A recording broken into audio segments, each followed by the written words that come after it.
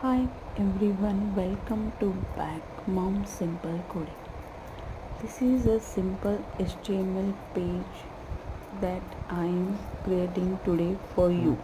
Hmm. input The first line I am writing is a doc HTML which showing which browser we are using. We are using the HTML file. Next tag is a HTML tag.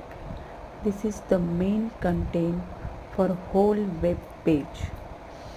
It means everything is written inside the HTML tag. After that, inside the HTML tag, we using head tag.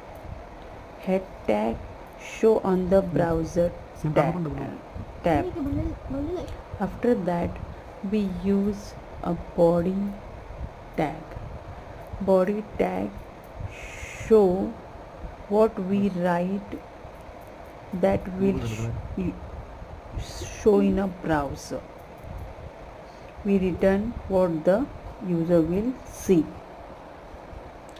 Next side we using a title tag in a head tag. Title tag is using in only head tag. In inside the title tag we write the heading. After that we go inside the body tag and I am using the heading h tag that show the heading of page. After that i am using p tag. That sh- it show the paragraph. Inside the paragraph what we write it show in a browser after running the browser. Okay.